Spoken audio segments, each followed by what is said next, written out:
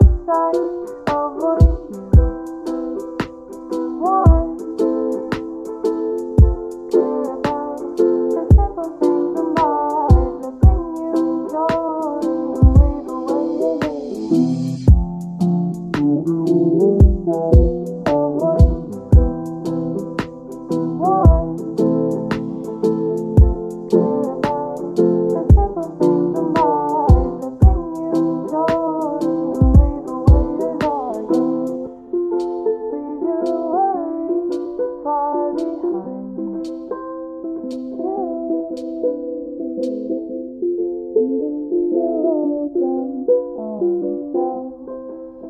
to the classic novel, don't you?